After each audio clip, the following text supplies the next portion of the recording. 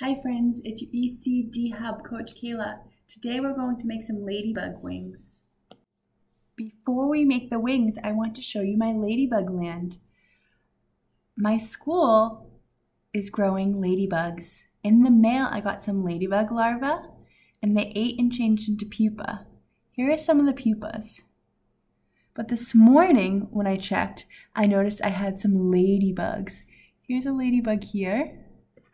Let's see if we can find some colorful ones. There's one right there. There's one right there.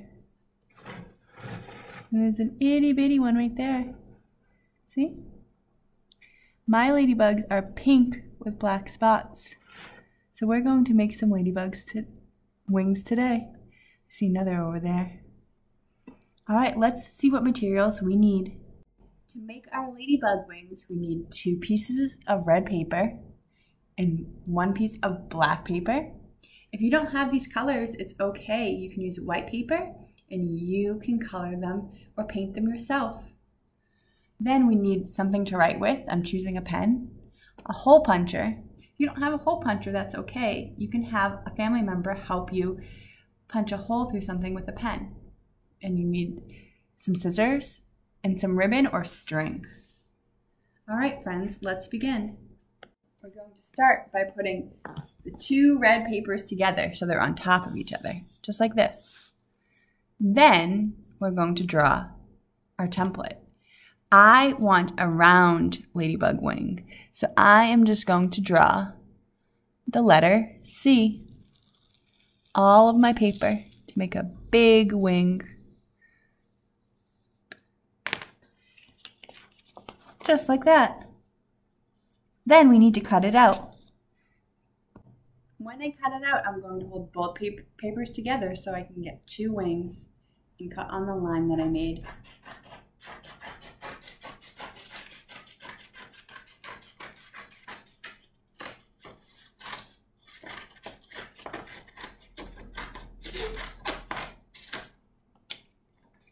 And then I have two wings.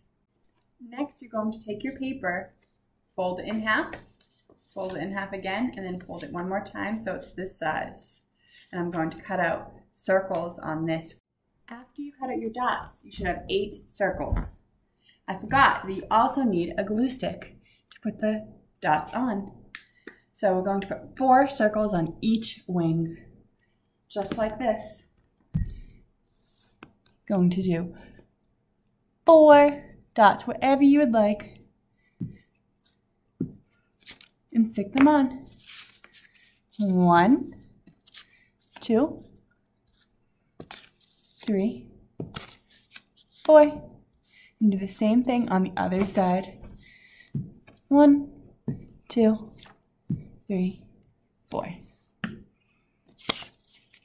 One, two, three, four and you have two wings.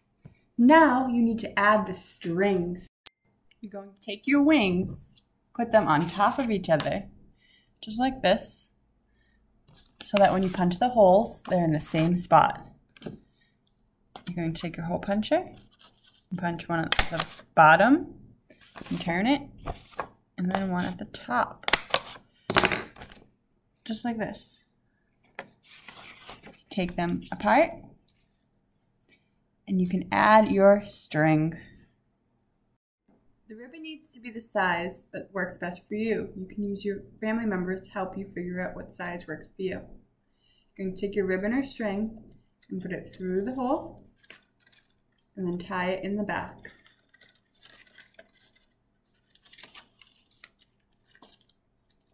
Then you're going to do the same thing on the bottom.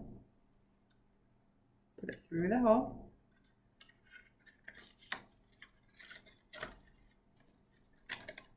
and do the same thing and pull. And you have a little wing. And then you will repeat the same thing with the other wing. Now you have two wings to wear and you can put them on your back to fly around. Just like that.